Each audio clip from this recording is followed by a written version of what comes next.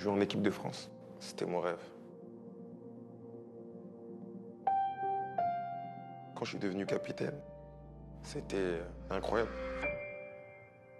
Paul, milieu de terrain. Le capitaine de la sélection des 16 ans, c'est Paul. Paul Pogba, c'est ça? Oui, c'est ça. Ça a quelle, euh, quelle fonction, un capitaine? Euh, ça, doit, ça doit montrer l'exemple et euh, ça doit motiver la troupe. Je dois être, euh, entre guillemets, le leader, mais c'est avec, avec tous tous mes coéquipiers aussi. C'est eux qui, qui me poussent à faire ça et je leur fais confiance. C'est pendant ces années-là, chez les jeunes, que je suis devenu un leader. Venez les gars, Ah, on, a, on a- on a creusé pour, pour marquer deux buts.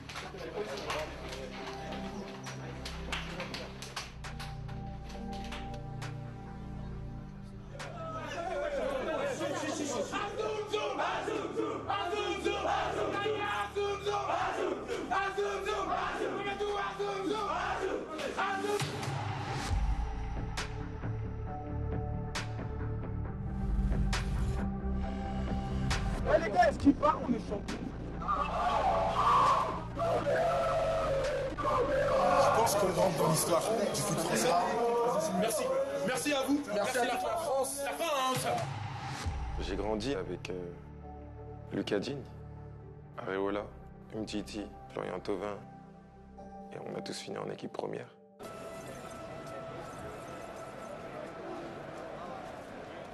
Je veux que ce soir, on soit dans la mémoire de tous les Français.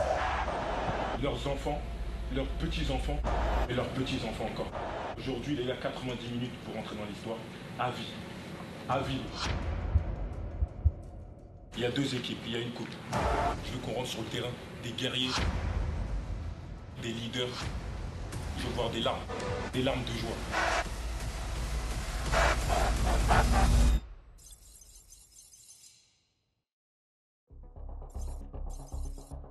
I don't see how anybody could beat France. not just because they won the World Cup, because I think this team is very much the same as the one in Russia. Faut faire attention, ça monte pas trop à la tête. Un beau petit soleil. hein. Oh là là. Un bon petit soleil. On a une belle équipe, une belle famille.